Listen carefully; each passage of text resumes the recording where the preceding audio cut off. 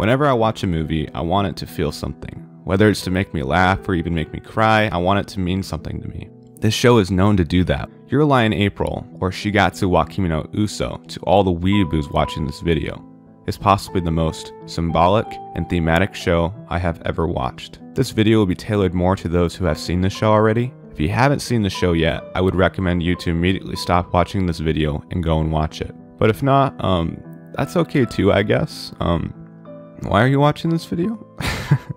I'm just kidding. Thanks, thanks for watching this video. I have contemplated a lot about the meaning of the show, from its vibrant characters to its colorful messages. I've done my research and even read all the fan translated book of Ichigo Doumei to get a better grasp at the meaning of this show. Shigatsu wa Kimi no Uso is inspired by this book, and you'll see why. When Matsuri gets a bunch of books from the library for Kaori to read, there is only one that stands out. The book is called Ichigo Doumei by Mita Masahiro that Kosei has apparently read based on the checkout names under it. If you thought Your in April had a sad ending, then you wouldn't want to read Ichigo Doumei's ending. The book is about a boy named Ryochi, who also loves playing the piano, and a girl named Naomi, who is even more visibly sick than Kaori. One of the most pivotal scenes in the show is Kaori quoting lines from the book and knowingly playing the role as Naomi. She does so by telling Kosei how she is just like the book, and how weird of a person he is, and then asking the most haunting and random question of the entire series. When Kaori asked Kosei this question, it was the same question that is asked in the book. Ryochi doesn't say anything back to Naomi, and Kosei reacted the exact same way, standing there without a word. Kosei's worst fears were realized. His questions were answered about her condition. It was his worst tragedy being replayed again.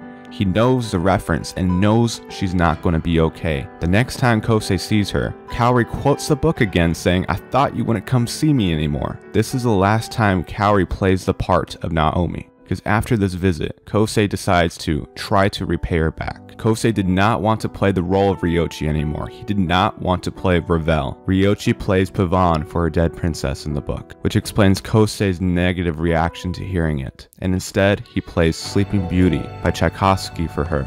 This is a song that represents a happy ending and a different take of what Kosei wanted her story to end like, not in tragedy, but in hope and in bliss. Kosei plays a song with Nagi to try to motivate Kaori to keep living. He tells her that he will never play Ravel and tells her that she doesn't need to be the heroine of the novel. He wants a happy ending and wants her to keep fighting and trying to live, which makes the scene so much more impactful than it was before.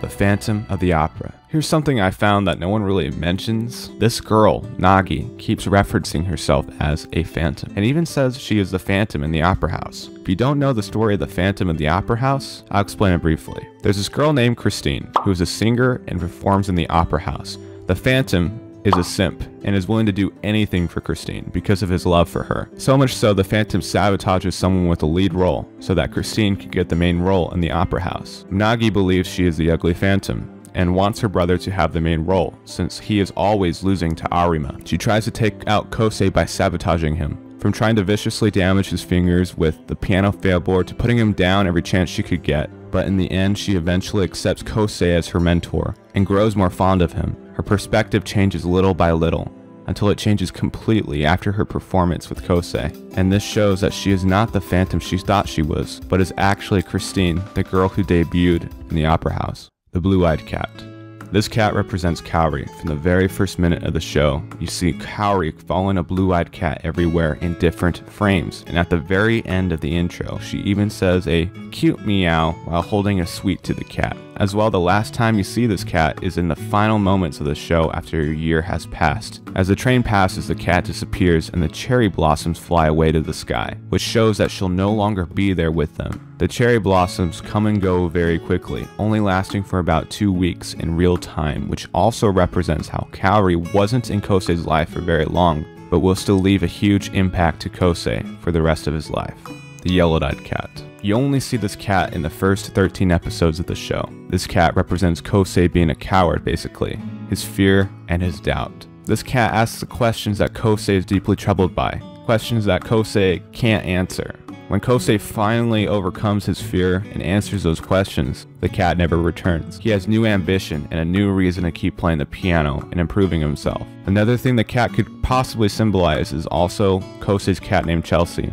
Just just hear me out for a sec. You never see Chelsea's eyes in the anime, but when his mother takes and abandons him, it definitely tears him up. Not just the fact that she's probably gone forever, probably dead on the street somewhere, but the fact that he didn't do anything to stop his mother, a time where he felt helpless and was too fearful to even say a word. So the cat that he has therapy with is probably his old cat named Chelsea.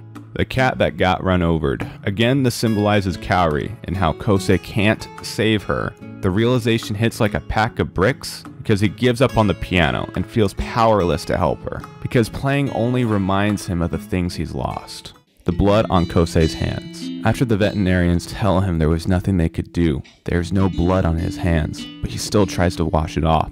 Last time you see the stained hands is when he's about to perform on the day of Kaori's surgery. The blood could represent that he feels guilt for something like how sin is used as blood in the Bible. He feels that even though it's not his fault, it's still his fault for being unable to save her. The same feeling he felt for his mother that he tried to save with his piano. It's crazy, but that's how he thinks, and that's how people think. The Dusty Piano. Kosei is like the lost child in this episode. He clings to Kaori for help. The show constantly alludes to this and even shows it in the final episode, when they even show Kaori comforting his younger self. This show is a story of tragedy, but it's also a story of hope and growth. Kosei starts off as a weak protagonist.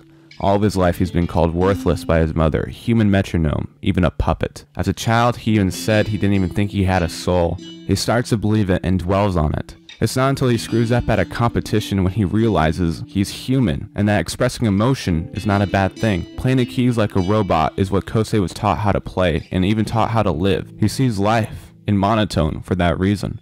Kosei is like his piano that was buried in the dust, piled up with clutter all the negative things in his life holding him down. It's not until Kaori symbolically wipes off the dust and clears the clutter that shows that things are about to change. And when Kosei finally begins to change and want to improve, he becomes better than he ever was.